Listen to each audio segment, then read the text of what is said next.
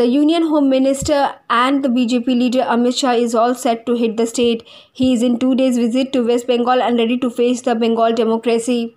However, while reacting on the Mamata Banerjee statement that West Bengal Governor Jagdeep Dhankhar is a BJP appointee, Amit Shah make her understand and said that she does not understand the constitution and does not know the process of selecting governor.